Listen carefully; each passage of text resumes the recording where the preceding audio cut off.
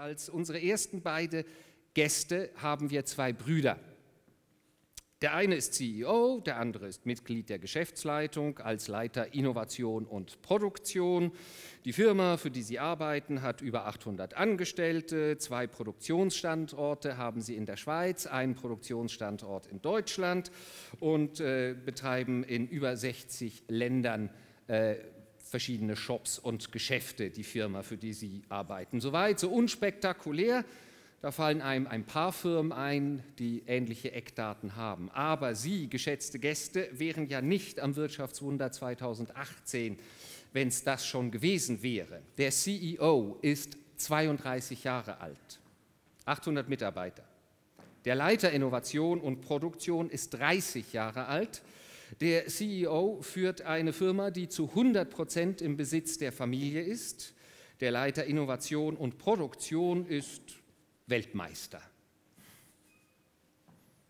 Sie sind die führenden Köpfe der Chocolate Family. Sie heißen Laderach, Johannes und Elias Laderach. Johannes hat den CEO-Posten dieses Jahr im März von seinem Vater Jürg Lederach übernommen. Der hat das Amt seinerseits 1994 von seinem Vater Jürg Lederach übernommen, äh, pardon, von seinem Vater Rudolf übernommen, der den Betrieb schon 1962 in Glarus gegründet hat. Schokolade ist bei den Lederachs Family Business. Kein Wunder also, hat sich der Chef Schokoladenzauberer Elias am diesjährigen World Chocolate Masters in Paris beim Pressepreis und in vier von sieben Kategorien gegen die 19 besten Schokolatiers der Welt durchgesetzt und hat den Weltmeistertitel heimgebracht. Der erste Schweizer, man höre und staune, der erste Schweizer überhaupt, dem das gelungen ist. Schokolade ist bei den Lederachs Family Business. Kein Wunder also, ist der ältere Bruder Johannes 18 Jahre jünger als der statistische Schweizer Durchschnitts-CEO. Begrüßen Sie mit mir, meine Damen und Herren, Johannes und Elias Lederach. Willkommen.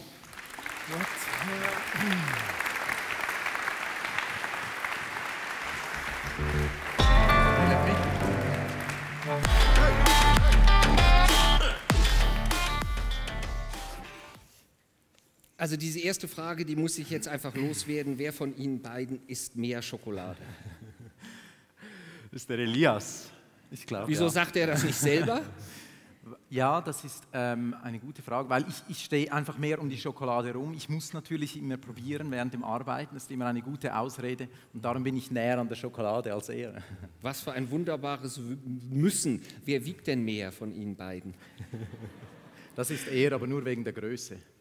Sie haben sich richtig gewichtiger, gewichtiger ist Elias. Er ist Weltmeister, ich bin seine Begleitung. Der CEO als Begleitung.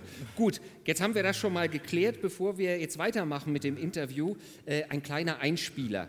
Äh, was ein CEO macht den ganzen Tag, äh, das wissen die meisten von uns, Bleistifte spitzen und den armen Menschen im Vorzimmer mit Terminänderungen quälen. Aber was macht ein Chocolatier-Weltmeister? Wir haben einen kleinen Einspieler äh, ähm, mit einem kleinen Einblick in seinen Triumph in Paris, wo er eben Weltmeister geworden ist. Parat, das wollen wir mal anschauen.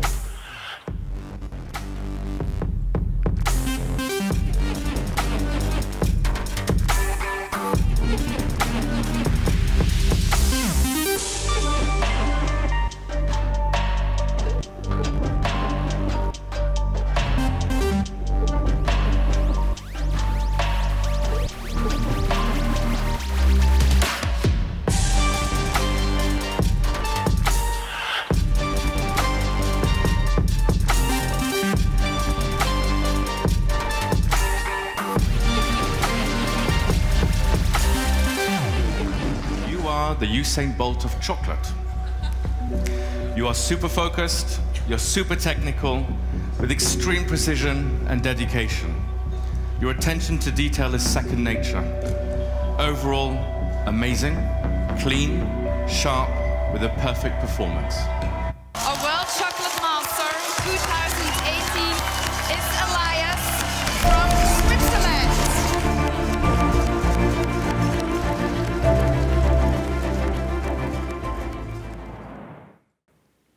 So richtig entspannt haben Sie erst. Bitte sehr.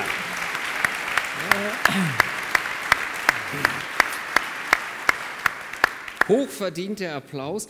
Ähm, so richtig entspannt äh, haben Sie erst gegen Schluss ausgeschaut, Elias. Ähm, könnten Sie sich, ich knüpfe da äh, äh an den Stefan Angiolata an, könnten Sie sich vorstellen, so einen Wettkampf, sagen wir mal mit 50 oder 60 nochmal zu machen? Oder schafft man das nur in Ihrem äh, jugendlichen Alter? Ähm, der Teilnehmer, der von Japan mitgemacht hat, der war äh, 48 Jahre alt. Also Ein alter Sack, 50, genau, ja. Habe ich nicht gesagt, aber äh, man kann das äh, bestimmt noch in diesem Alter machen. Da hat man mehr Erfahrung. man mag vielleicht etwas weniger äh, rennen, weil die Zeit ist ein, ein, ein sehr forderndes Kriterium an diesem Wettbewerb. Also ich bin froh, habe ich es mit 30 gemacht.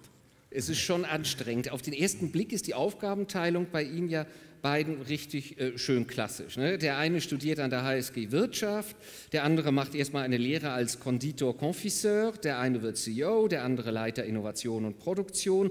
Aber der andere, also Sie, Elias, der hat ja vor zwei Jahren äh, sein berufsbegleitendes Betriebswirtschaftsstudium abgeschlossen. Muss sich der Johannes jetzt warm anziehen? Nein, muss er nicht, weil ich sage immer, ich, ich liebe es, wenn ich meine Finger in der Schokolade haben kann beim Arbeiten. Ich versuche so viel wie möglich im Atelier zu stehen und eben da zu arbeiten. Ich sage immer, ich habe versucht, das Wirtschaftsstudium so als Allgemeinbildung dazu zu machen. Aber da gibt es doch Spann kann man das hier sagen am Wirtschaftswunder? Nein, wir sagen es nicht, dass es Spannenderes gäbe. Ähm, äh, als, als ich mich in die Chocolate Family, wie das ja offenbar das Management des Unternehmens nennt, das haben Sie sich gar nicht selber gegeben, dieses Attribut. Das ist ja eigentlich ein Kompliment. Wir haben uns sehr gefreut damals. Es ging darum, wie beschreiben wir die Kultur bei uns und alles, was wir tun. Und da kam das Management mit dem Begriff Chocolate Family. Das hat uns sehr gefreut, weil genauso wollen wir miteinander arbeiten wie in einer großen Familie, wo man sich eben äh, ergänzt, statt dass man sich konkurrenziert. Ich glaube, jeder ist unterschiedlich begabt und das sollte man feiern, statt versuchen, das auszuradieren und sich, sich ergänzen. So soll unsere Kultur sein. Und so ist eigentlich auch im großen Sinne unser Geschäftsmodell. Also wir wollen von den Kakaobauern, die wir möglichst persönlich kennen und bezahlen, über die Mitarbeiter in der Produktion, über unsere Verkäuferinnen und Partner bis zu den Kundinnen und Kunden alle einschließen in diese Chocolate Family und die Freude, die aus der Schokolade kommt, mit ihnen teilen. Als ich mich in, in jetzt nenne ich es mal, die engere Chocolate Family eingelesen habe, da habe ich irgendwann einen Moment gehabt, wo ich gedacht habe, die sind wahnsinnig fleißig. Sind sie das? glaube nicht. Ich glaube, mein Vater hatte die große Gabe, sich immer mit Leuten zu umgeben, die ihn ergänzt haben und die in den verschiedenen Bereichen besser waren als er. Ich habe das bei ihm beobachtet und bewundert, als er 2004 die Merkur-Filialen übernommen hat, wurden wir ja plötzlich Retailer und eine Konsumentenmarke. Und beides war neu, nachdem wir vorher 40 Jahre nur B2B gemacht hatten. Und er hat das nicht alleine versucht, sondern er hat Spezialisten aus dem Handel geholt, er hat Spezialisten von Konsumentenmarkenartikeln geholt. Und das habe ich bei ihm abgeschaut. Und ich glaube, je mehr man sich ergänzt, desto entspannter kann man selber durchs Leben gehen und desto strategischer kann man selber tätig sein. Dann fühlen Sie, Elias, sich genau richtig da, wo Sie sind, wie Sie es gesagt haben. Der Johannes, der soll lieber CEO bleiben. Sie werfen lieber mit Schokolade um sich. Es ist genauso, wirklich. Also ich glaube auch nur schon zwischen uns zwei, ähm, es ist eine perfekte Ergänzung. Und ich möchte nicht seinen Job, er will wahrscheinlich nicht meinen. Das ist wunderbar so. Eben diese, diese Ergänzung gegenseitig. Aber Sie kommen ja mehr zum Schokolade probieren und haben die bessere Ausrede. Johannes, einer der beiden Brüder, es gibt ja noch einen jüngsten, den David, äh, der wäre beinahe ausgeschert und wollte Wildhüter werden. Mhm. Ähm, Jetzt studiert er, glaube ich, oder hat studiert Betriebswirtschaftslehre. Wer hat ihn denn auf den Pfad der Tugend zurückgeführt? Also der Schuldige sitzt im Raum und ist mein Bruder. Ähm, mein Vater hat es uns wirklich auf vorbildliche Art und Weise freigelassen, was wir werden wollen. Hat immer nur vorgelebt, wie viel Spaß es machen kann, Unternehmer zu sein. Viel am Familientisch darüber gesprochen, uns mitgenommen ins Geschäft, auf Reisen. Hat aber immer nur vom Positiven berichtet, aber das hat er gut gemacht Nur einmal hat er interveniert und das war, als Elias sagte, ich möchte Wildhüter im Glarnerland werden. Und da hat er gesagt, du, ich glaube, das ist nicht das Richtige. Und nach Paris, nach dem Erfolg von ein, vor einem Monat, habe ich mich daran erinnert und gesagt, was wäre, wenn er jetzt durch die Wälder des Glarnerlands streifen würde. Naja, die Schweiz wird immer noch auf den Weltmeister im Schokolade, äh, und Konfekt machen warten mhm. und wahrscheinlich noch viele, viele Jahre. Was war denn der Punkt, wo, wo der junge Elias Letterach äh, gesagt hat, okay, gut, ich schmink mir das ab mit, dem, mit der Wildhüterei? Unser Großvater hat uns schon sehr früh mit einbezogen. Also ich weiß noch, als wir, ich weiß nicht, wie alt wir waren, wahrscheinlich sechs, sieben Jahre alt, ja, durften wir mit ihm, mit ihm äh, Osterhasen gießen oder dann hat er mit uns mal diese Biberkonfekt mhm. gemacht. Das erinnere ich mich auch noch gut. Und das weckt halt einfach die, die Freude am Beruf. Also, ähm, und Schokolade gegessen habe ich schon immer gerne, von dem her war es auch irgendwo naheliegend. Und es wurde eben äh, irgendwie schön und attraktiv vorgelebt, dieses, ähm, dieses Geschäftsleben, auch von unseren Eltern und Großeltern. Aber er hat dich auch früh in die Berge mitgenommen und da wohl Stimmt, auch die Leidenschaft auch. für die Natur geweckt. Ja, vielleicht hat also der Großvater den Wildhüter in meinen Kopf gesetzt, das könnte sein. Unbeabsichtigt. es ist, aber es ist alles Family Business. Ja, also man muss betonen, dass wir ohne die Mitarbeiterinnen und Manager nie da wären, wo, wo wir sind.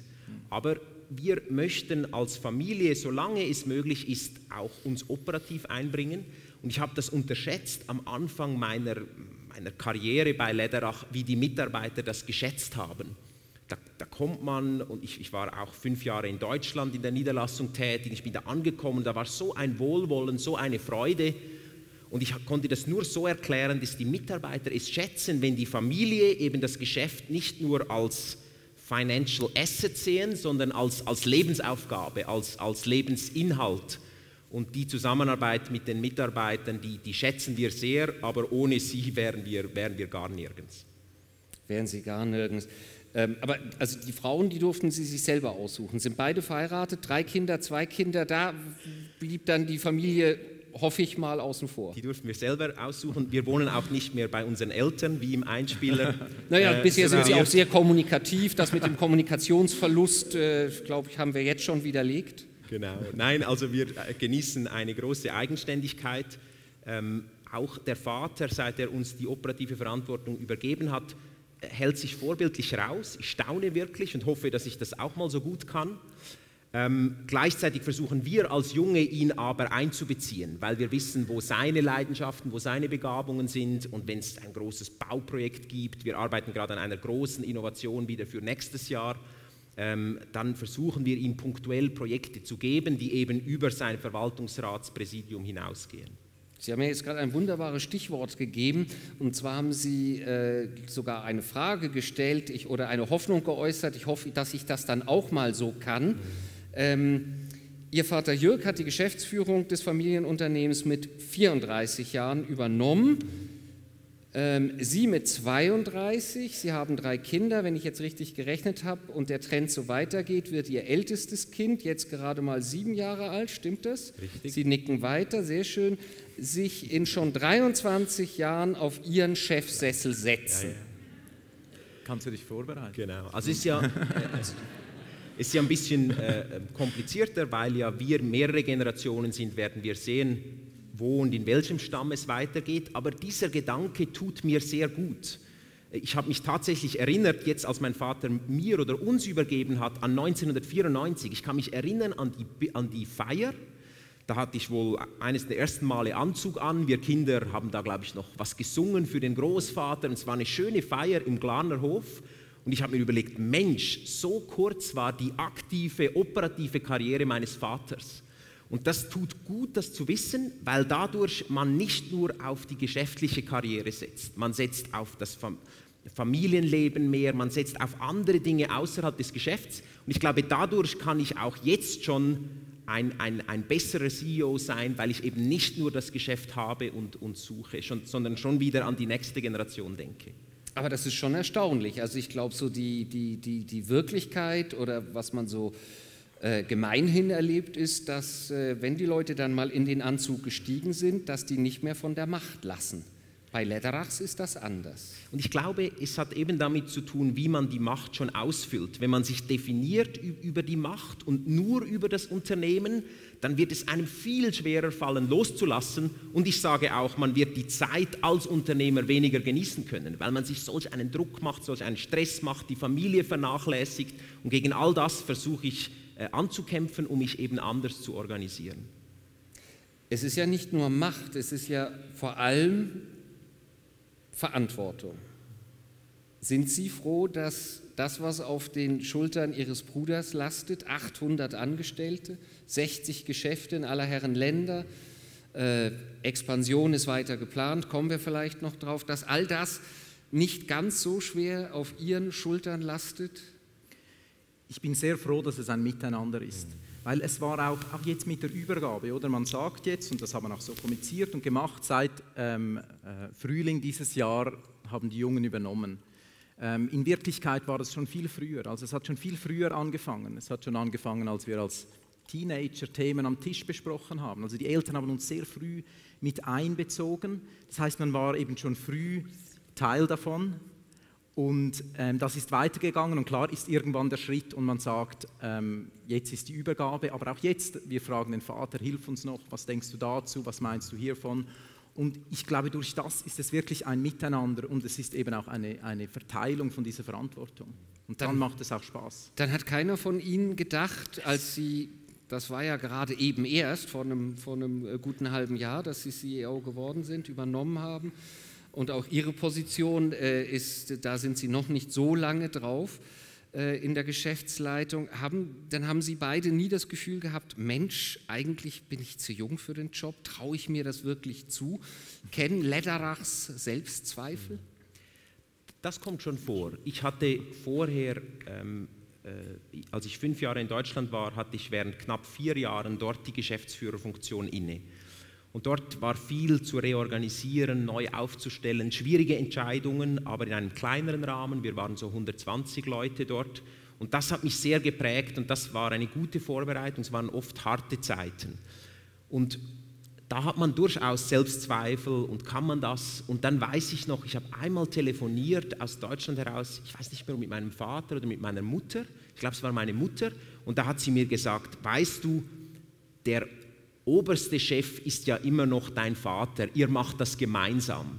Und dieser Satz, ich glaube, ich werde ihn nie vergessen. Und das hat mir so geholfen, nicht die ganze Familie schaut auf dich, ob du jetzt in Deutschland reüssierst oder scheiterst, sondern danke, dass du für uns in Deutschland diese Arbeit tust, aber wir machen es als große Familie gemeinsam. Und durch solche Erlebnisse habe ich äh, den Mut gehabt, Ja zu sagen zu meiner Rolle mit all seinen Vor- und Nachteilen, Ja zu sagen zu meinem Alter, kann ich nicht ändern. Es wird von Tag zu Tag besser, aber ich kann es nicht ändern. Ähm, besser? Aber es ist, naja. ist, nein, also Spaß beiseite, es ist gut, wie es ist. Ich habe, irgendwann musste ich Ja sagen zu meinem Leben. Und das hat gut getan.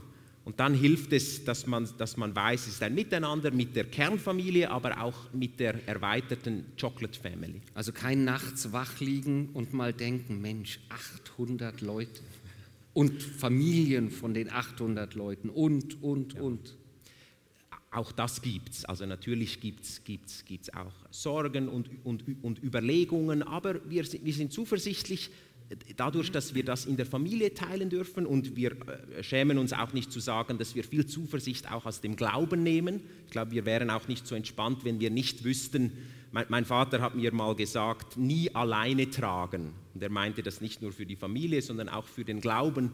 Und es entspannt uns zu wissen, dass wir äh, nicht selber tragen müssen, sondern der, der uns auf diese Erde gestellt hat, auch mitträgt.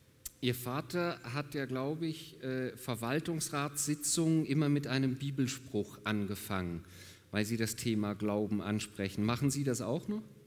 Zuweilen ja. Also es ist mir wichtig, dass ich nicht eine, eine Gesetzlichkeit daraus mache, aber wenn mich etwas prägt oder eine Tageslosung oder was ich gelesen habe, dann finde ich, soll man das in aller Natürlichkeit auch äh, ansprechen dürfen, auch in der Geschäftsleitung. Sie nicken, Elias, ähm, von wegen Wachliegen, bevor es losging in Paris. Sie wussten, mhm. Sie sind jetzt einer von den 20 besten äh, Chocolatier weltweit. Ich nehme mal an, da gibt es Vorausscheidungen, da muss man erst mal hinkommen nach diesem Paris. Sind Sie da, wach gelegen und haben vielleicht auch ein Zwiegespräch mit jemandem gesprochen, der nicht so richtig im Raum, im Schlafzimmer, im Hotelzimmer fassbar war? Natürlich, das gab es vor dem Wettbewerb, während dem Wettbewerb ganz oft. Aber etwas, was ich neben dem Schokoladeessen gut kann, ist schlafen. Mhm. Und äh, das hilft mir gerade auch vor dem Wettbewerb. Also ich habe nach dem Wettbewerb schlechter geschlafen, um das zu verdauen als vorher. Ich habe seine Frau angeschrieben, als die in Paris mitgefiebert hatte. Ich konnte erst am Freitag nachreisen, am dritten Tag. Wie geht's ihm? Schläft er? Und sie hat ges gesagt, ähm, äh, das, das, Schlafen ist nicht das Problem, das Essen ist das Problem. Sie musste ihn immer ermutigen, isst doch was, isst doch was. Aber Schlafen und Schokolade, vielleicht müsste man mal eine Studie in Auftrag geben. Das wäre vielleicht ein weiteres Geschäftsfeld. Schlafen und Schokolade. Danke Im Samstagsgespräch, äh, äh, Johannes, äh, mit dem Vaterland haben Sie, das war ein Interview, das der Stefan Anjolazza mit Ihnen geführt hat, ähm, auf die Frage gesagt, ob man manchmal als so junger CEO nicht so ganz ernst genommen wird, haben Sie geantwortet, es wird von Tag zu Tag weniger schlimm. Wie schlimm ist es denn gerade so im Moment?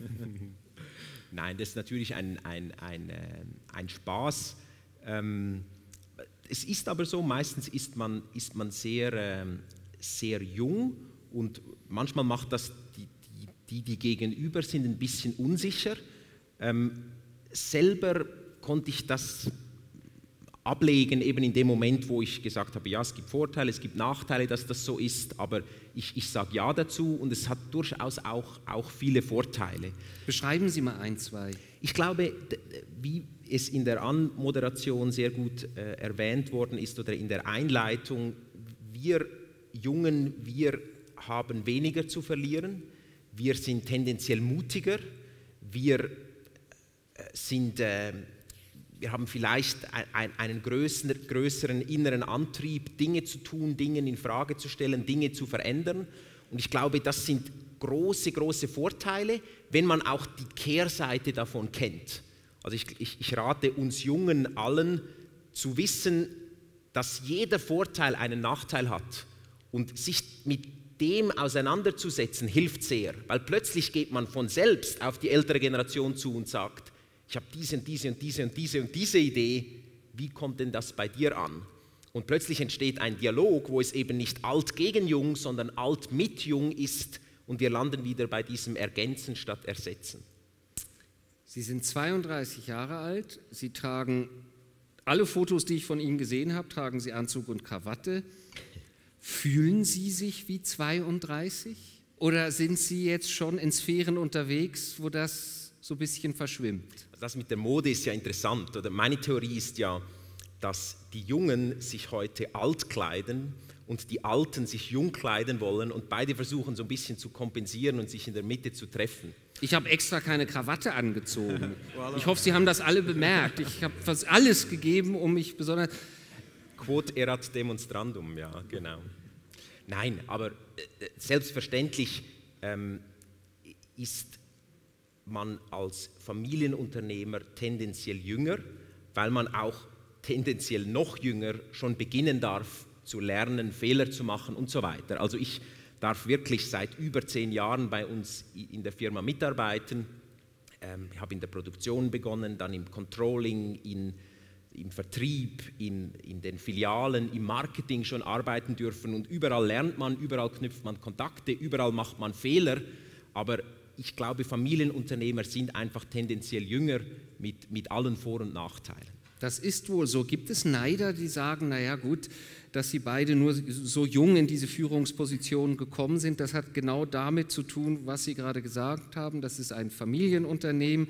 In freier Wirtschaftswildbahn hätten Sie das beide nie geschafft. Gibt es so Leute? Ja, ich, das wird mir nicht oft gesagt, aber ich bin mir bewusst, dass das im Raum steht. Also der, der sitzt auf diesem Stuhl, weil er den gleichen Namen hat wie die, wie die Firma.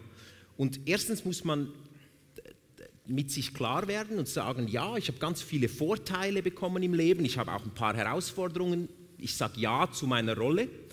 Und zweitens hilft es dann oft, wenn man das direkt anspricht. Und ich habe, als ich die Geschäftsführung in Deutschland übernommen habe, das war vielleicht vor, vor sechs Jahren, habe ich am ersten Abend meine ganze Geschäftsleitung versammelt, habe sie zum Essen eingeladen und habe es direkt angesprochen, habe gesagt, hey, ich bin mir völlig bewusst, ich wäre nie in dem Alter in dieser Funktion, wenn ich nicht aus der Familie kommen würde. Ihr seid jeder von euch in eurem Feld viel besser, viel erfahrener. Aber was ich einbringen kann, ist die Verbindung zur Familie und die strategische Orientierung. Und jetzt lasst uns doch alle mit diesen Voraussetzungen zusammenarbeiten und das Beste daraus machen. Und ich erlebe, dass das jeweils hilft und die Situation entspannt. Elias, äh, der Satz ist heute schon in der Einleitung äh, gefallen. Ja, das haben wir immer so gemacht. Wie oft hören Sie den? Hört man immer wieder. Das ist ganz, äh, das ist ganz klar, gerade mit, mit im Bereich äh, der Innovationen. Und da gilt es wirklich immer einfach diesen, äh, und das versuchen wir sehr aktiv zu pflegen, den auch gegen innen eben diesen offenen Blick zu behalten. Also wenn wir mit neuen Sachen kommen, ist auch etwas, was uns als junge Generation gerade sehr wichtig ist, dass wir eben mit den Innovationen wirklich dranbleiben. Und ähm, wir hören diese äh, Sachen auch von, von, von Ihnen natürlich, obwohl wir sehr dankbar sind, ähm, wie viel auch Ideen dann eben wieder von Ihnen kommen und Vorschläge und können wir nicht das? Letztens ist eine von der Verpackung, eine Dame zu mir gekommen mit etwas, äh, das sie von Italien mitgebracht hat, ein Produkt und gesagt, wäre das nicht was für uns? Und das erleben wir oft. Aber nichtsdestotrotz, wenn Neues kommt, gibt es immer Widerstand oder die Gefahr, dass Widerstand kommt, ist groß. Und dass man das eben gemeinsam angeht, glaube ich, ist sehr wichtig und ein Schlüssel gerade für diese Innovationen auch. Haben Sie den Satz von Ihrem Vater schon mal gehört? Nein, definitiv nicht. Der würde nicht sagen. Ne? Nein. Das wird er nicht sagen? Nein, der, er, er, ist wirklich einer, der, äh, er ist ein Unternehmer, er ist schon fast unstet. Also wir mussten oft äh, schmunzeln, auch im Urlaub es, bei ihm gab es nicht am Strand liegen, sondern was machen wir heute? Dann fährt man dorthin und dort und schaut das an. Es muss immer was laufen und das äh, ist, ist, ist seine Natur und ist, glaube ich, auch gut so. Der Titel dieser Veranstaltung, der heißt ja Young Leaders, wie die U30-Generation unsere Zukunft gestaltet. Sie sind jetzt 30 und 32, ich meine, mich haben Sie mit 50 reingelassen, ähm, die sind großzügig hier. Verstehen Sie sich als Young Leaders, die unsere Zukunft gestalten? Ich, ich habe große Freude an diesem Konzept von, von Jungsein oder wie Steve Jobs sagt, stay hungry, stay, stay wild. Ich habe ein bisschen Mühe, wenn man gewisse Generationen anderen bevorzugt, weil ich glaube sehr fest, dass es um, um die Haltung von Jung geht und ich glaube auch nicht, dass eine Generation besser sein kann als eine andere, weil nur in der Ergänzung wir, wir gemeinsam vorankommen als, als Gesellschaft. Aber diese Haltung, stay hungry, stay wild, nach dem größten Erfolg, ich war letzte Woche in Middle East bei unseren Franchise-Partner, wir durften dort 50 unserer Verkäuferinnen ähm, schulen. Ich muss übrigens noch Sie korrigieren, wenn Sie erlauben. Unbedingt. Weil sonst werde ich wirklich nervös. Wir sind nie und nimmer in 60 Ländern sondern wir haben 60 eigene Filialen in neun Ländern ähm, und das ist, äh, ansonsten würde ich nervös werden. Und ich war eben in Middle East und wir haben dort geschult und wir haben, und ich habe ihnen gesagt, schaut, jetzt wo wir Weltmeister sind, ist es eine große Gefahr, dass wir selbstzufrieden werden, weil die Belegschaft hat sich riesig gefreut über seinen Titel und sie fühlen sich alle wie 800 Weltmeister. Und ich habe gesagt, freuen wir uns darüber, aber es ist eine große Gefahr, dass wir jetzt selbstzufrieden sind und nicht mehr versuchen, jeden Tag besser zu werden. Und ich mag diesen Satz in dem Zusammenhang, morgen fangen wir wieder von vorne an. Meine Damen und Herren, ich glaube, äh, das lassen wir jetzt so stehen. Das war ja geradezu ein flammendes Plädoyer auch für einen Generationenvertrag, wie Generationen sich vertragen können und sogar zusammenarbeiten können und das so zumindest äh, erlebe ich das jetzt gerade als sehr leuchtendes Beispiel bei der Familie Lederach. Äh, dann äh, wird eine Geschichte erfolgreich und dann wird das wahrscheinlich auch was mit äh, Geschäften äh, in 60 Ländern. Meine Damen und Herren, ich bedanke mich ganz herzlich bei meinen ersten beiden Gästen, bei Elias Laderach und bei Johannes Laderach. Vielen, vielen herzlichen Dank. Ihr Applaus.